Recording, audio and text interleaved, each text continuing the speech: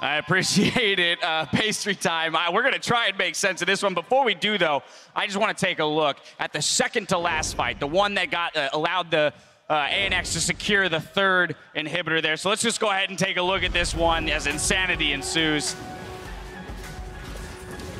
I mean, for so long, they were just knocking on the doors here, and Gorilla does go aggressive, looks for that big engagement, but because it doesn't result in anything, they're able to isolate PraY and just delete it. Exactly, and this is what they were trying to do for so long, is get a flank onto PraY. Smurf, he missed a bunch of opportunities earlier, because once you have the base wide open like that, it's so easy for the Poppy to have access to the backline when you're sieging, and and I just want to echo what the Fisher was saying. It was so hard to watch Smurf sometimes when he wasn't going for those flanks. You're like, come on, boy, get in those flanks, zone him off. Do it. But he gets the most absolutely crazy, bonkers Poppy Ws I've seen in this entire tournament. The amount of times he just completely outclassed Peanut. I think it's going to happen right here when Peanut is a hair away of killing a Miracle, and then suddenly, out of nowhere, this bloody combo comes out here, here, and he blocks the combo, he blocks the so W's. Good. It's so insane. This guy is so much fun to watch. But that's what coordinated team fights look like, and I mean, time and time again, this Albus Nox lineup just look like they're on the exactly the same page. And when you can do that against a team like Rox, who just kept coming at them, credit to Rox, well, that's incredibly impressive. And that's the thing, you talk about stacking up against the Rox, Tigers, and team fighting, right? That, I mean, this is the squad that we're saying, tournament favorites coming in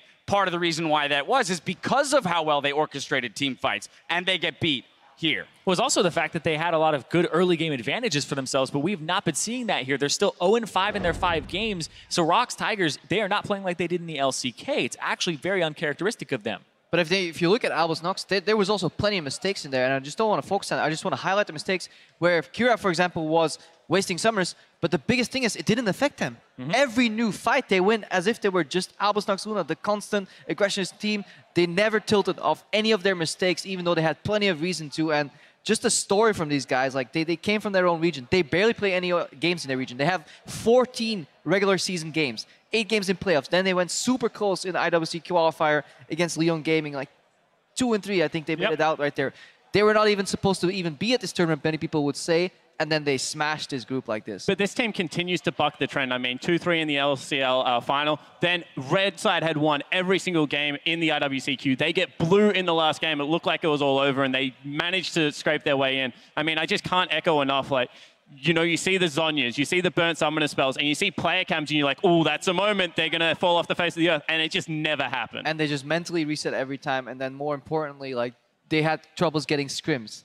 Like maybe oh, yeah. people have like a lot of people have heard about this already, but like they couldn't even scrim teams because nobody deemed them worthy enough to be even worth some practice. Half of these guys were playing World of Warcraft while warming up for this tournament, and then they smashed this group. Like it is like this is history we're witnessing. Yeah. These guys were not supposed to do this well. Absolute history. I mean, we have our first team qualifying to the quarterfinals in this tournament, and it is one of our wildcard teams, and they are just destroying everybody left and right. I do want to take a look from our Acer replay here at the early game yeah. domination, the visitation mid by PvP Stejos, where he made his mark. And this is just communication. Wait for the spear. I'm going to flash to slow. It's going to be easy, and we're going to clean him up. Time and time again, this duo, we're just able to get it done.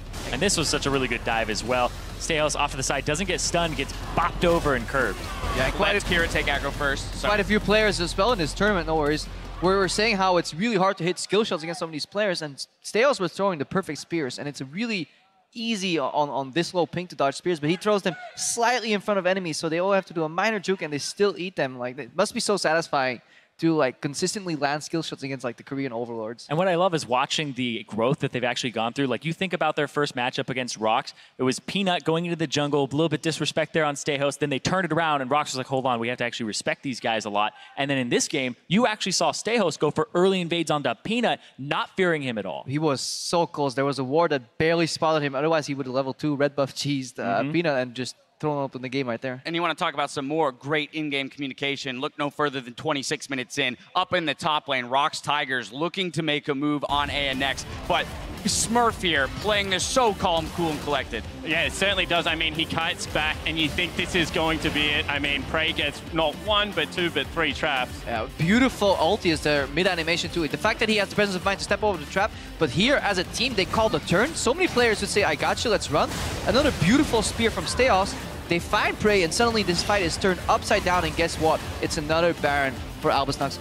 And it doesn't stop there. I mean, this team also blind uh, steals away an Elder Drake, another creative play that really got them the ne uh, next opportunity at Baron. Time and time again, they're pushing creeps into the lane, disappearing into Fog of War. Their macro game is incredibly solid. Exactly. When they were able to actually push up those lanes, they knew what they had to do and which lane they needed to rotate to in sequence. They weren't wasting a whole lot of time. The game did go on really long, but that's mostly because of the fact that there were a whole bunch of those mess ups that, you know, happen for one person every now and then. And it looks so easy sometimes when you look at the map, like, ah, why don't they go mid? You know, why not? Mid's wide open. Why don't you just stop it? But having been in those situations, it's so incredibly hard to not only keep an overview and be able to play on the edge of dangers. Very often they were playing within combo range of Gorilla on three different, like at least one guy while they were pushing three different lanes. The fact that they have the presence of mind and the trust in their teammates that somebody will not get caught, have a Zhonya's, be able to flash out and can trade that pressure for an inhib, like they guys, they, these guys function like a team. It's just so wonderful to watch. Yeah, and a lot of Rox, they rely on the playmaking of Gorilla, but his Alistar was completely shut down by really well-timed flashes and people also having that Poppy W come out from Smurf Mm-hmm. and stopping him is really good and stopped Rox from actually turning a lot of fights. Well, you just already began to touch on it there, but player of the game going to Smurf for the numerous Poppy W's that, that save things. So that replay we saw was basically a highlight for him, presence of mind to slow the game down. Yeah, and I Quite love the fact that he knows when he has to go in, but he also knows when he has to save his carries backside. And time and time again, this guy was able to do both in very quick situations. It's honestly really nice to see his decision making in game. Now, of course, I know a lot of people would like to hear from a member of ANX right now as they did just qualify, but unfortunately, they have to play another game. So we're giving them the time to set up and gear up for one more game on the day. So, gentlemen, looking forward, though, I mean, this, this ANX squad is already into the quarterfinals. I mean, what, what, if anything, now you're tasked with taking down this squad? Who do you attack? How do you prepare against Albus Nox Luna? I, I've I've lobbied for G2. I've said this is the time to turn it around. I, I give up. I don't even know anymore. Maybe just ban the. I don't even mean for G2. I just mean knowing that they're in the quarterfinals, right? They have another fi- best of five series now against another team. How are you now approaching this best of five against Albus Nox? Yeah, I, I mean, you guess you have to have a look at the mid lane jungle synergy, and you know, prop if especially if you've got a weaker mid lane, they're going to look to attack that. And I think it's more about like understanding what their strategy is, and then playing towards and a little bit more reactive. In- in a best of five, I would open up with a with a brand Nidalee brand ban Nidalee contest at least. Don't give it to Stejos. Then take maybe one more count, uh, comfort pick. I don't think the Bard is that much of an issue on only Creed. I think people need to pivot from this triple support ban. Just take away the the wild card in the definition of the word, not the team. Yes. In the brand pick. And then let him play whatever else. Like Tahm Kench is still in a Tahm Kench. Final Yeah, and thoughts. I think that you ban Poppy out or you Yeah. take it away because I think Poppy is kind of a crutch for a lot of top laners right now that may not be performing really, really well and have a, a lot of mistakes come out from them, but it gives them a small margin of error and they're able to actually make those mistakes and still be effective in the game. All right, first team to the quarterfinals, and it's Albus Nox. Luna G2 and Albus Nox going to square off for the final time here in San Francisco when we return in three and a half minutes. We're getting set for the fourth match of the day between Albus Nox Luna and Rox Tigers. Here we go, mid. All of a sudden, the action cue's gonna hit! Stay on Cena, that's first blood for ANX. 기 억이 냈거든?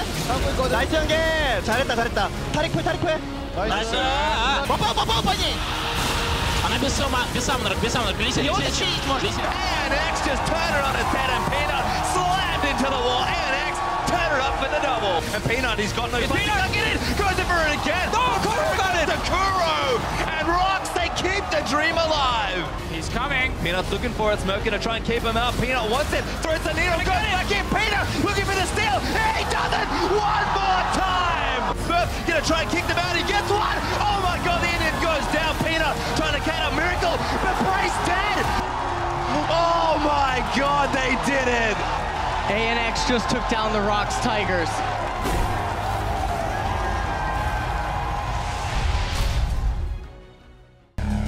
Dare to be different. Revel